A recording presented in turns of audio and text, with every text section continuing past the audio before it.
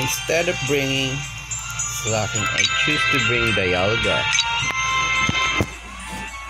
Let's see how will it affect the fight.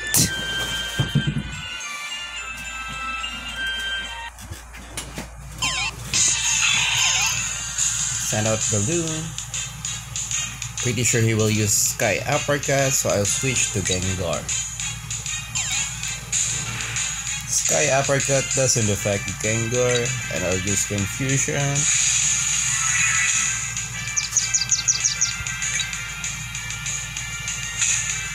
Nightshade, and another Nightshade, and another Nightshade.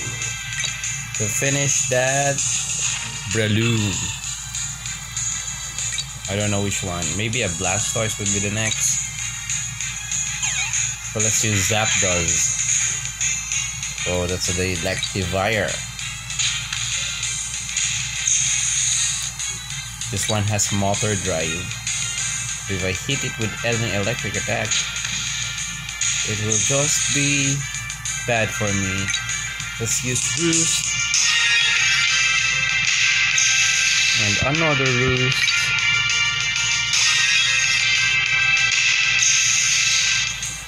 Drill Peck again. Two more Drill Peck and it's down. Charizard.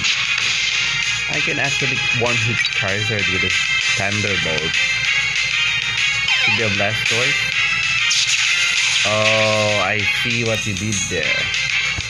He used that to bait me to use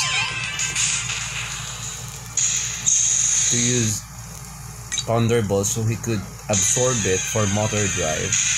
But now we have Tyranitar in the team. And I use mistakenly Crunch. It will be a Blastoise this time. Why it should be a Zap Zapdos Thunderbolt. Zapdos can pretty much defeat both of his remaining Pokemon, Charizard and Blastoise. What would his Charizard do against a powerful Zapdos?